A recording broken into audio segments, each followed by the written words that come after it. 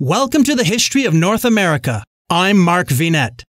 The course taken by Puritans in New England was shaken during the mid 17th century when English monarch Charles I sparked a crisis with the British Parliament that led to a bloody civil war that had direct repercussions on North America and the colonization of the Atlantic coast.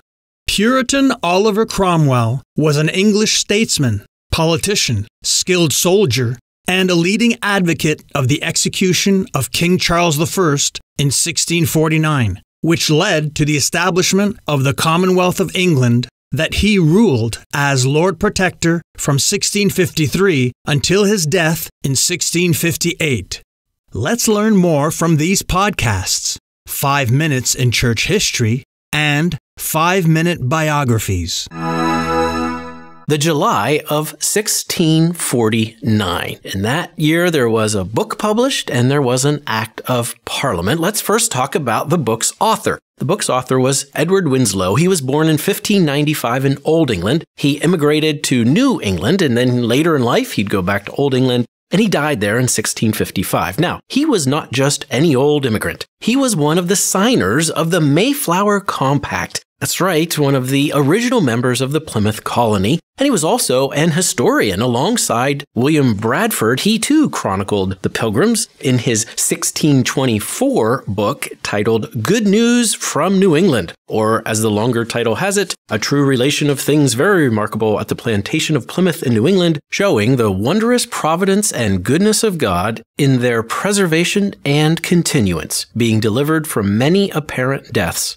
and dangers. Well, in addition to being an historian, he was also an active explorer. He established posts throughout Maine and up and down the Connecticut River. He served as a default minister and he served three one year terms as the colony's governor. In 1649, he published one of his other books. It was titled The Glorious Progress of the Gospel Among the Indians in New England. And that summer, in July of 1649, that book led to the founding of the Society for the Propagation of the Gospel in New England.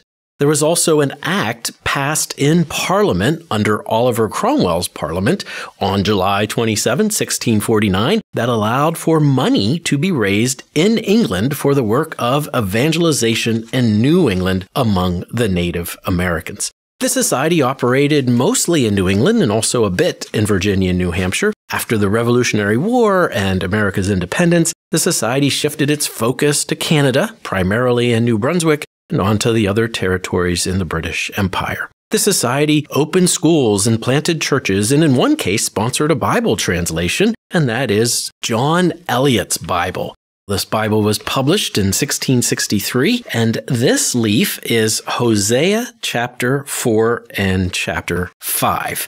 Eliot's Bible was published in the Algonquin language, and it was part of those efforts to spread the gospel among the Native Americans. The society was actually founded for the purpose of, quote, the dissemination of Christian knowledge and the means of religious instruction among all those in their country who were destitute of this. The early missionaries include John Eliot, Eleazar Wheelock, John Sargent, Gideon Hawley, John Cotton, even Jonathan Edwards was one of the missionaries for the society when he went out to Stockbridge and did the work there among the Mohicans and the Mohawk and the Stockbridge Native Americans. And Edwards' son Jonathan Edwards Jr. was also one of the Society's missionaries. In fact, when he was just a young teenager and living there at Stockbridge, he went with John Brainerd deep into the mountains of New York to take the gospel to Native Americans. Of course, John Brainerd was the brother of David Brainerd, and he was a missionary for 30 years with the Society for the Propagation of the Gospel. Many of these missionaries lived among these Native American nations or tribes. They would learn the language, they formed alphabets and wrote grammar books and preached in the language of the Native Americans. In fact, Jonathan Edwards Jr. wrote a grammar of the Mohican language.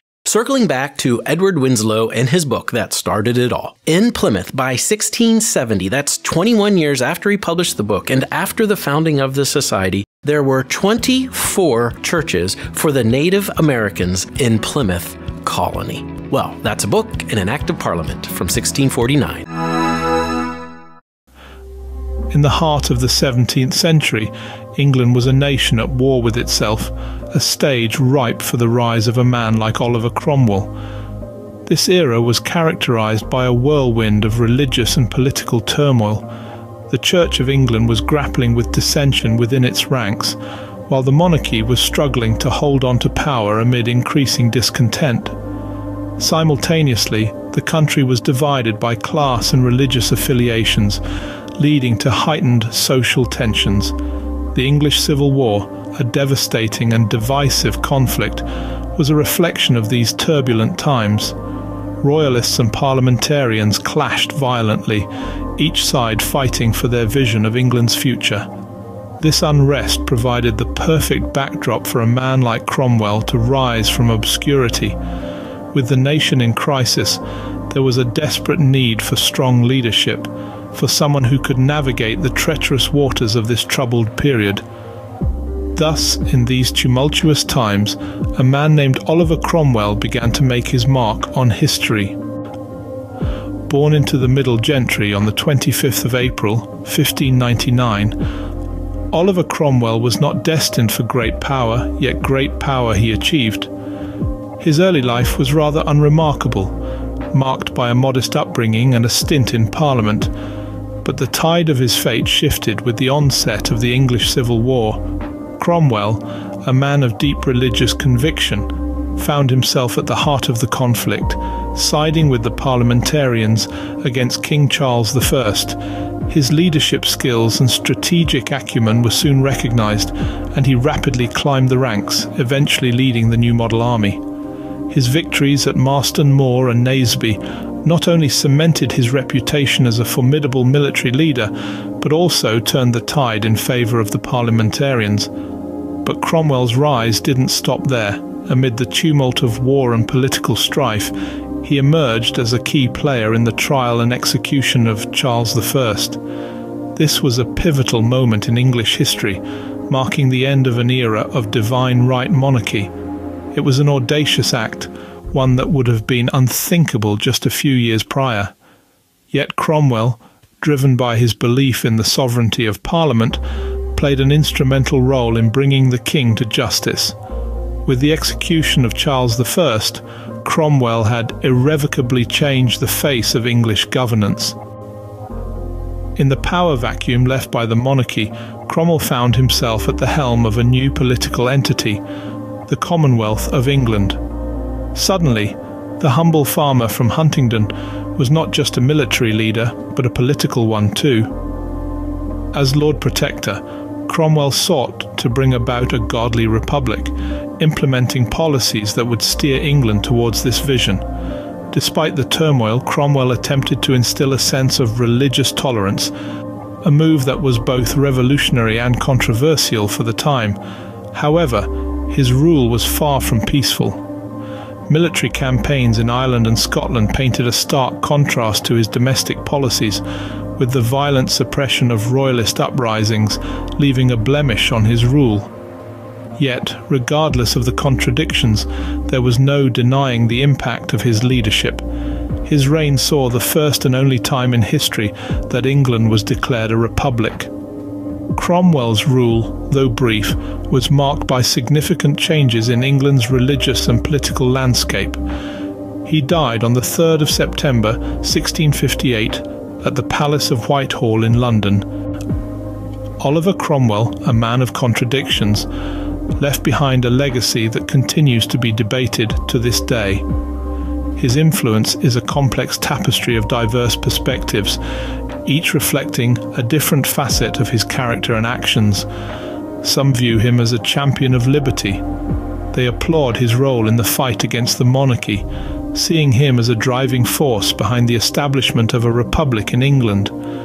This perspective appreciates Cromwell as a defender of the rights of everyone, a revolutionary who challenged the status quo. Yet, there is another side to Cromwell's legacy, one that paints him in a darker light. To these critics, Cromwell is a despot who imposed his will without regard for the rule of law. His brutal military campaigns in Ireland and his suppression of political opposition at home are often cited as evidence of this. Today, Cromwell's legacy remains a subject of intense debate. His posthumous execution, a symbolic act of retribution by the restored monarchy, is a testament to the deep divisions he left behind. Yet in a BBC poll of the 100 greatest Britons, he ranked among the top 10, indicating a continued respect for his contribution to English history. Whether viewed as a hero or a villain, Oliver Cromwell's impact on English history is undeniable, and his story continues to captivate us centuries later. I'm Mark Vinet, and I hope you're enjoying the ride.